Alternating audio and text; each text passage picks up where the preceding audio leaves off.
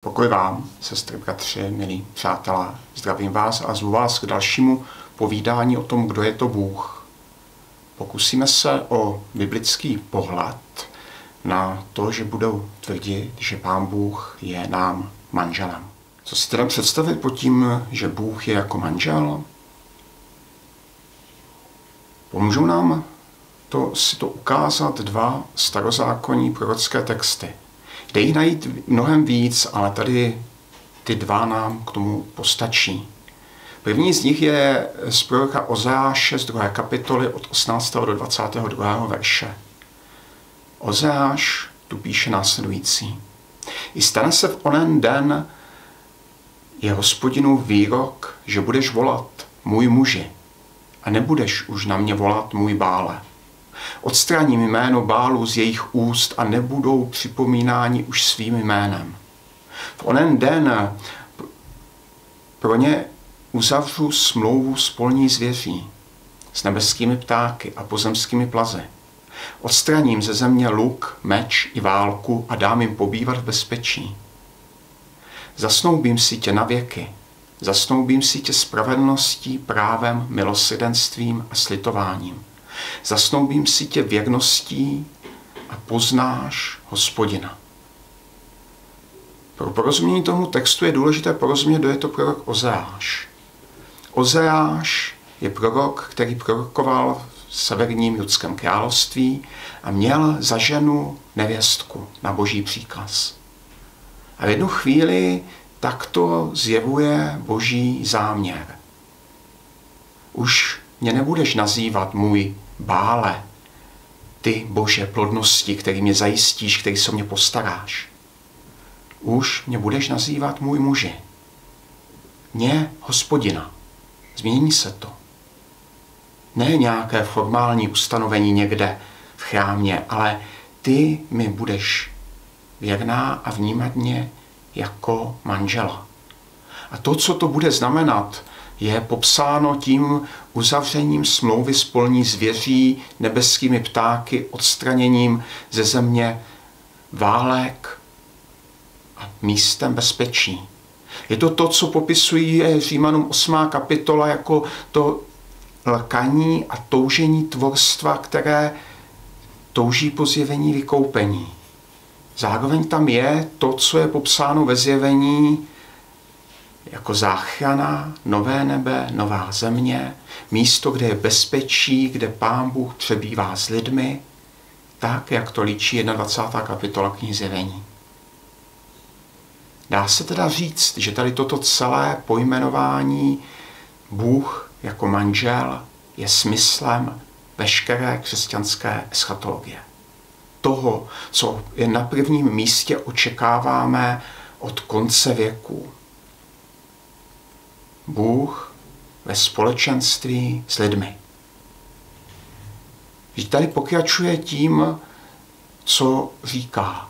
Zasnoubím si tě na věky, zasnoubím si tě spravedlností, právem, milosidenstvím, slitováním, zasnoubím si tě věrností.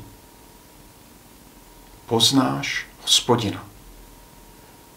Je tam pět znaků vztahu. Prostě ta situace spravedlnosti, trvání, práva, milosrdenství a slitování a věrnosti. To je to, co očekáváme od stavu, tu jistotu, pevnost, blízkost. A to se stane tak, že takhle poznáš Pána Boha. A Bůh neví, jak to líp vyjádřit než vztahem muže a ženy. Neví, jak to líp vyjádřit než právě tady tím manželským svazkem. Podobně o tom svědčí i ten další prorok, a to je prorok Izajáš, který v textu 54. kapitoly říká následující. Neboj se, protože se nebudeš stydět. Neostýchej se, protože nebudeš zahanbena. Neboť zapomeneš na hanbu svého mládí na potupu svého vdovství již nespomeneš. Vždyť tvým manželem je tvůj tvůrce, jeho jméno je hospodin zástupů a tvým vykupitelem je svatý Izraele, nazývá se Bohem vší země. neboť hospodin tě povolal jako ženu propuštěnou a strápenou, ženu mládí, když byla zavržena pravý tvůj Bůh. Na malou chvíli jsem tě opustil, ale ve velikém slitování tě zhromáždím. To, co tu máme před sebou, tak je vyjádření jistoty, kým je Izraeli Pán Bůh. A jsou to kvality toho manžela. Tvým manželem je tvůj tvůrce. Ten, kdo tě zná, kdo ti rozumí, kdo tě stvořil. Jeho jméno je hospodin zástupu. Hospodin zástupu je označení Adonai od ten pán armády. Ten, který vládne. Vykupitel, svatý Izraela, Bůh vší země. Prostě ten nejvyšší je tobě tím nejbližším. Tak se tu Bůh představuje. Je v tom nárok na člověka, komu jedině má patřit. Je v tom starost o člověka. A ta starost je tu zdůrazněna několika dalšími věcmi. Neboj se, nebudeš se stydět, nebudeš zahambená. Je to očekávání přijetí, to je očekávání manželky. Ona čeká, jak se o ní ten manžel muž postará. Jak mu bude ona pomocí a on jí jistotou a zajištěním. Ale Bůh tu zdůrazňuje už něco, co se odehrálo v historii vztahu mezi ním a Izraelem. A to, co tu je, je vztah, který byl porušen. Vztah, který má za sebou různé pády, odmítnutí. A jako kdyby tu hospodin chtěl překročit svůj zákon.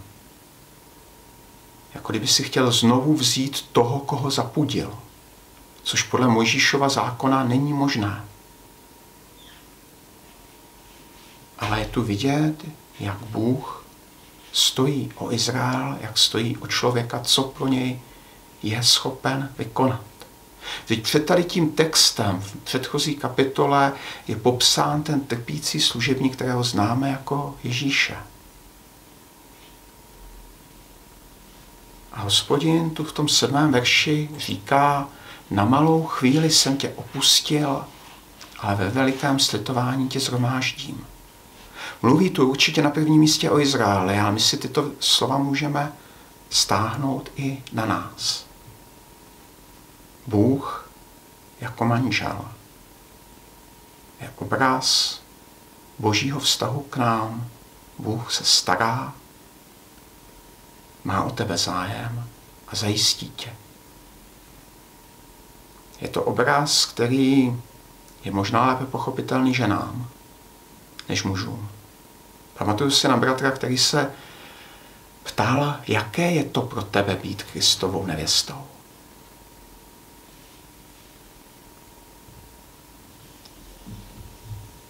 A někdy jsem nevěděl, co správně odpovědět. Ale tady ten text nám ukazuje něco o vztahu, po kterém toužíme každý. Je to něco, co mluví do našich vztahů s druhými lidmi, ale něco, co nám ukazuje, jak nás vidí Bůh. A já nám každému přeji, abychom toto boží vidění mohli zažívat a hledat. Dej nám, prosím, pane, vidět tvou dobrotu a lásku, žít jí a vstoupit do toho záběru, kde se toto všechno odehraje. Amen. Děkuju za pozornost a ať se na vás Pán Bůh usmívá.